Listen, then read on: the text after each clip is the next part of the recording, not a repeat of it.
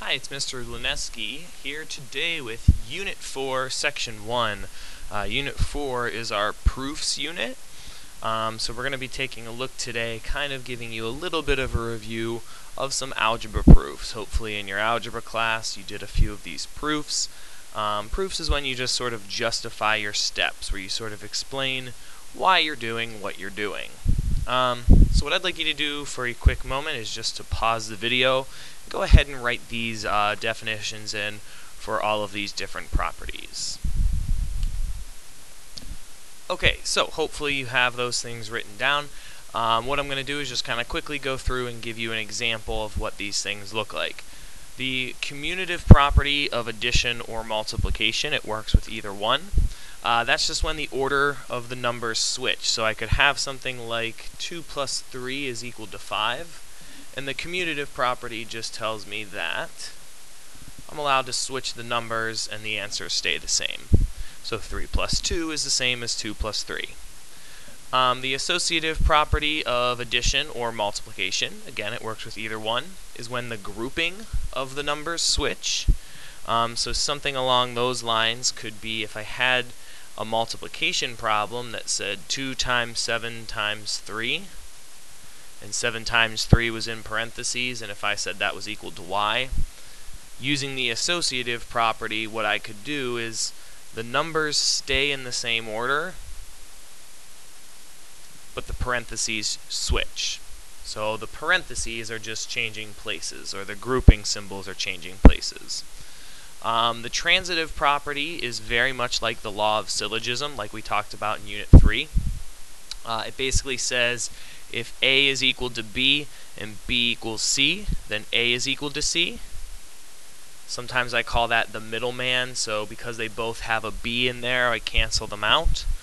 Um, so something like that might look like this. If I said 2x plus 5 was equal to y plus z. And then if I told you that y plus z was equal to 7, using the transitive property, I have y plus z here and y plus z here. I could say that 2x plus 5 is equal to 7. That's transitive property. Um, substitution is very, very similar to transitive property. In fact, sometimes in our proof unit, we kind of use them interchangeably. Um, but if I had something like 2x plus 10 is equal to y, and then if I told you that x was equal to 5, I could do a substitution and say, oh, substitute 5 in for x. So that's a substitution. Um, the addition property of equality, subtraction property of equality, multiplication and division properties of quality. Um, sometimes you may hear referred to as the pose property of equality, POE. Um, basically what that says is when you're solving an algebra problem, whatever you do to one side of the equation, you have to do to the other. So something like if I had 3x minus 2 is equal to 8, and I said solve for x, your first step would be add 2 to both sides. When I do that, that's the addition property of equality. So that gives me 3x equals 10, and now if I said solve for x, your ne next step would be divide both sides by 3. And that's the division property of equality, because I'm dividing both sides by the same thing. Whatever I do to one side, I have to do the other. Um, symmetric property is basically when you just flip the sides of the equation. So if I had something like this, and I use the symmetric property, it might look like this. So basically those two things are just flipping. And then the distributive property is when you have something like 3 times 2x minus 1, and you distribute 6x minus 3. So remember, with distributive property, it's um, you're sharing the multiplication. It's 3 times 2x and 3 times negative 1. So here's an example of what an algebra proof looks like basically gives you an algebra problem, solves for it, and all you have to do is justify the steps. So, um, when we're looking at a problem in a proof, we are given two things. We're given the given statement and the prove statement. What do we have and where are we trying to get? Um, or where what are we trying to get to? So given that y equals 2 times 3x plus 4, and given that y is equal to 20, we want to prove that x is equal to 2. So in my problem, if I look here, that's just my given statement. Almost every single proof that we do in this class is going to start with the given. In a proof, you're basically asking the question, how do I get from this step to this step?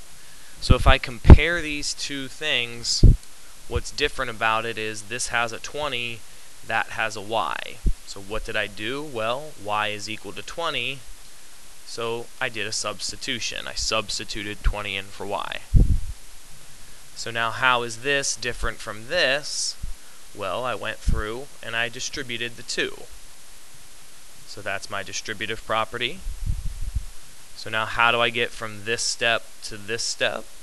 I'm subtracting 8 from both sides. So remember, whatever I do to one side, I have to do the other. That's my subtraction property of equality. Um, down here, how do I get from this to this? I'm dividing both sides by 6, so that's division property of equality, or my division PO. Um, and then finally, if I have 2 equals x and it switches over to x equals 2, that's my symmetric property. So that's an example of an algebra proof. Um, some of this information here is just going to seem a little bit repetitive or kind of a review from Unit 1. These are just some things that may pop up as we move on to geometry proofs. Um, you'll probably get some true-false questions relating to these ideas here, uh, which are things that we've actually seen in Unit 1. So I'm just going to read through these kind of quickly. It says through any two points there's exactly one line, so that just means if I have any two points I can draw a line through it. Um, through any three non-collinear points, there's exactly one plane. So if I have three non-collinear points, I can draw a plane around it. Uh, a line contains at least two points. That means there can be more than two points on a line, three, four, ten, multiple points. Um, a plane contains at least three non-collinear points, so there can always be more points in a plane. And if two planes, um, or I'm sorry, if two points lie in a plane, then the entire line containing those points exists in the plane. So that's kind of a combination of these two. Basically, if two points are in a plane, I can draw a line between those two points. And if the points are in the plane, then the line has to be in the plane. And then finally, just as a little reminder here, two lines, if I have two lines intersecting, two lines intersect at a point. And then if I have two planes that intersect, two planes intersect at a line. So the next couple of problems on the rest of the worksheet here are just some practice problems for you to try on your own. We will go over them in class next time. Thank you for watching.